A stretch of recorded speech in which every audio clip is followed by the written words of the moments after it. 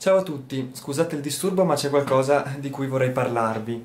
Ormai è passato più di un anno da quando ho aperto il canale e da quando si è creata questa eh, piccola ancora community eh, che mi piace molto. Eh, mi piace molto leggere i vostri commenti, eh, mi piace molto capire ciò che vi ha impressionato, ciò che non sapevate, ciò che sapevate già, ciò con cui siete d'accordo, ciò con cui non siete d'accordo e devo dire che non vi risparmiate nemmeno le critiche eh, che sono, devo dire, veramente a volte puntigliose, come è giusto che sia, perché si tratta di argomenti importanti. Mi piace molto anche lo scambio di opinioni che si viene a creare, non solo fra me e voi, ma anche fra di voi. Un conto però è quando tutto questo avviene nel rispetto, un conto però è quando il rispetto viene a mancare. Devo dire ora un po' di cose che pensavo fossero banali, pensavo fossero scontate, ma per alcuni invece non lo sono.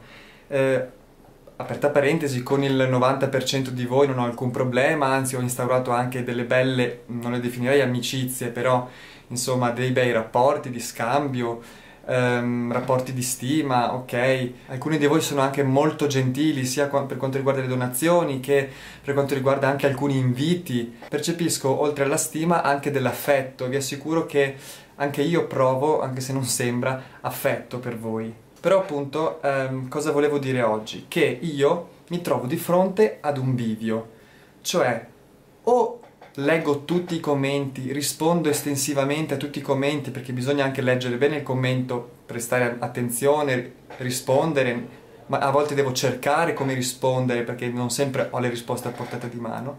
Quindi o rispondo a tutti i commenti, ehm, rispondo a tutti i messaggi che mi mandate, rispondo a tutte le mail che mi mandate, eh, oppure vado avanti con il mio canale.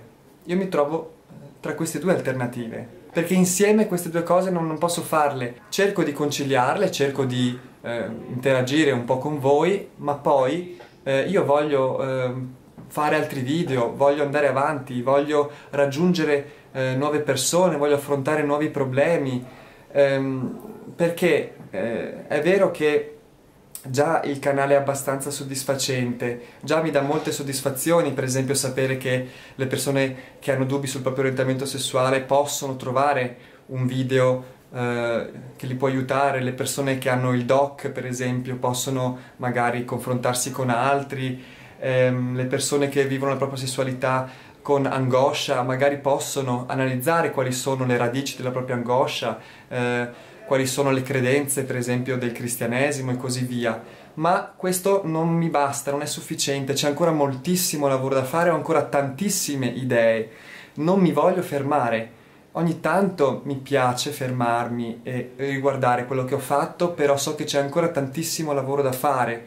Anzi, a volte, alcune giornate, mi accorgo che se dovessi rispondere a tutti i commenti che ricevo, quella giornata stessa non basterebbe Qual è l'evento scatenante? C'è stata una mail che mi è arrivata che mi ha alterato e mh, mm, appunto per me ha superato il limite e mi ha spinto appunto a fare questo video.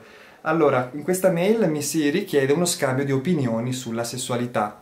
A questo punto io dico, ok, non ho molto tempo da dedicarti, però um, posso rispondere a qualche mail. Allora eh, mi viene inviata una lunga mail eh, circa la storia personale di questa persona, fin dall'infanzia, poi adolescenza, eccetera, eccetera, eccetera.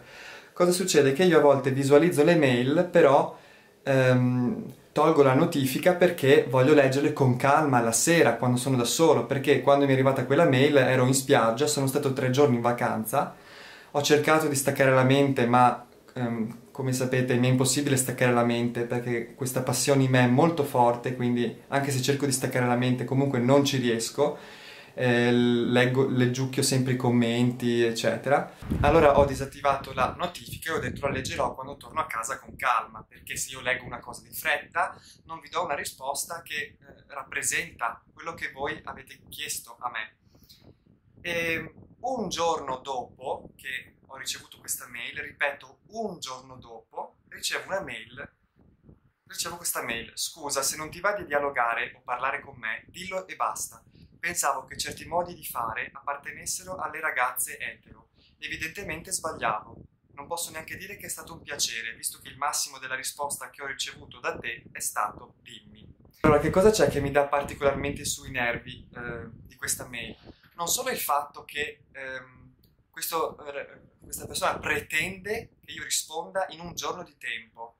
Allora, a parte che nemmeno a, a un mio amico, se io chiedo qualcosa, pretendo che lui mi risponda in un giorno di, di tempo. Poi comunque si tratta di una richiesta che hai fatto ad una persona che, ora, non è che io sono Chiara Ferragni, ho capito, eh, però insomma sono un personaggio pubblico, non ricevo mail solo da te e tu pretendi, quindi sei arrogante perché pretendi che io ti debba rispondere entro un giorno. Magari un giorno è il tempo che serve a me per pensare soltanto a una risposta, ok? Ma la cosa che mi fa più arrabbiare è ehm, pensavo che certi modi di fare appartenessero alle ragazze etero, cioè si riferisce al fatto che io l'abbia ignorato. Quindi lui mi sta offendendo dandomi della femmina, ok? Ma ciò che io dico sempre nel mio canale è che la femminilità non è una, un difetto, non è qualcosa di cui vergognarsi. Anche ammesso che, fosse, anche ammesso che non rispondere alle mail sia un comportamento tipicamente femminile, cosa che bisogna dimostrare, anche ammesso che fosse questo, non si usa la femminilità per offendere un'altra persona, perché non è un'offesa essere femminili. E dunque, cosa ci fa questa persona tra i miei iscritti? Ma sa chi sono io? Ha mai visto un mio video? Ma eh, questa persona mi... cioè, lei pensa di offendermi dando, dandomi della ragazza. Quindi veramente mi chiedo che cosa ci fa questo nel mio canale. Non ha capito eh, nulla di quello che io faccio.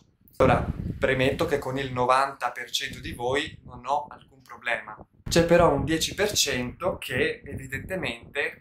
Ehm, c'è però un 10% che eh, evidentemente non ha ben chiara la situazione. Allora, qual è lo scopo del mio canale YouTube o di qualsiasi canale YouTube poi eh, nella maggior parte dei casi? Non è quello di cercare amici. Io non ho fatto un canale YouTube perché voglio cer- perché sono da solo eh, mi annoio e quindi voglio cercare amici, fare conoscenza. Non è lo scopo primario del mio canale. Certo, è qualcosa che può avvenire, che mi piace se avviene spontaneamente. Con alcuni di voi sono diventato anche amico, perché magari eh, mi interesso anche in quello che voi fate, vi seguo eh, per altri motivi e quindi può nascere certo un'amicizia spontanea, ma non è lo scopo primario. Non faccio il canale YouTube perché cerco amici. Amici ne ho già. Quindi le persone che mi scrivono su Instagram, ciao, che cosa devo rispondere a questo messaggio? Ciao, um, ciao, come stai? Ma che senso ha chiedere come stai a una persona che io non conosco? E che senso ha far finta di interessarmi alla salute di una persona che io non conosco? Ehm, se è qualcosa appunto che riguarda il canale rispondo volentieri, ma se mi scrivete ciao non aspettatevi una risposta. Perché non siete il Presidente della Repubblica. Se Sergio Mattarella mi scrive ciao, io gli rispondo. Io non ho fatto il canale YouTube poi per confrontare le mie opinioni, perché io sono insicuro, eh? ehm, sono insicuro delle mie opinioni, quindi cerco un confronto, cerco... No, io sono abbastanza sicuro delle mie opinioni, perché dietro c'è uno studio, perché dietro c'è già stato un confronto, e lo scopo primario è quello di esporle. Poi certo ci possono essere dei confronti, ehm, ma non è appunto lo scopo primario. Lo scopo primario è esporre i contenuti, creare una community. Ehm, quindi i commenti che ricevo, ragazzo hai sbagliato. Allora, ehm, innanzitutto mi devi spiegare dove ho sbagliato, perché io eh, prendo in considerazione le argomentazioni. Quindi se tu mi scrivi hai sbagliato non aggiungi altro, sai che quel commento io non lo leggo e non ci rispondo a quel commento. Anche perché tu non sei nessuno, quindi se tu sei Sigmund Freud e mi scrivi hai sbagliato, io dico ah caspita, ho sbagliato, eh, aspetta che studio meglio, ma se tu non sei nessuno e mi scrivi hai sbagliato, perdonami ma non mi fa molto effetto. Ma inoltre ragazzo, chi, ci sono molti adulti che mi scrivono ragazzino, ragazzo, studia meglio, approfondisci di più, tornatene a scuola, eh, questi messaggi vengono da adulti che credono, per il fatto di avere anni in più di me, credono di essere più intelligenti di me, credono di avere più esperienza di me, credono di avere più diritti di me in un dibattito. Io tratto tutte le persone allo stesso modo, come sapete, perché la ragione non conosce età, Quindi un uh, messaggio di un quindicenne io lo analizzo razionalmente come un messaggio di un sessantenne, come un messaggio di un ottantenne e chiedo che anche voi facciate lo stesso con me. Chiedo che anche voi non mi trattiate da ragazzo giovane, ma mi trattiate da individuo pensante. Quindi il fatto di avere un'età maggiore di me non vi dà nessun diritto in più. Inoltre con i miei video sulla religione non cerco una conversione religiosa, non cerco la fede, ok? Quindi ricevo tantissimi messaggi ogni giorno che iniziano con convertiti, ehm, eh, hai abbandonato la fede ma puoi ritornarci, eh, credi nel Signore Gesù, guarda che la sua grazia ti può rinnovare. Ok, a parte che se io cerco un ritorno alla fede, leggo altre cose, parlo con sacerdoti, insomma, avrei altre vie se io stessi cercando in questo periodo della mia vita un ritorno alla fede. Comunque vi comprendo perché è un comandamento quello di diffondere la fede Cristo. Quindi vi comprendo da questo punto di vista, siete dei buoni cristiani. Um, un cristiano che non cerca di convertire quelli intorno a sé, secondo me non è un buon cristiano, perché vuol dire che non gli interessa della felicità degli altri, non gli interessa che gli altri abbiano la felicità eterna. Questo secondo me è un cattivo cristiano.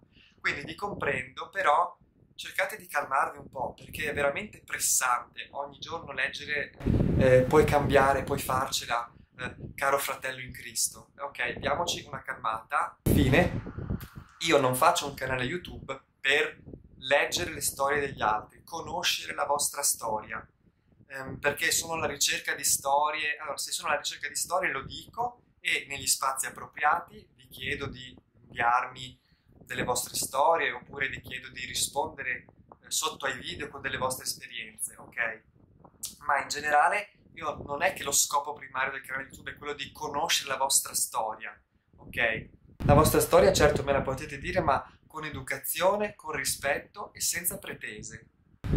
Cioè, io per esempio non mi sognerei mai di eh, scrivere a Ric Dufer Ciao, sono Elia, vivo a Piombino-Dese. Eh, quando ero piccolo, sai che io, quando sono, ero adolescente, mi è capitato che la mia opinione su questo, devi sapere che è, cioè, ehm, non, so, non concepirei nemmeno di scrivere questa cosa a un personaggio pubblico, di pretendere che lui si interessi a me, di pretendere che lui mi risponda subito. Va bene, quindi detto questo, eh, vi ringrazio per l'attenzione, era una cosa che volevo dirvi, sono sicuro che mi comprenderete. E niente, continuiamo, continuate tranquillamente a scrivermi, continuiamo a coltivare il nostro rapporto, puntando però sempre a un'ottica di rispetto e a un'ottica di futuro.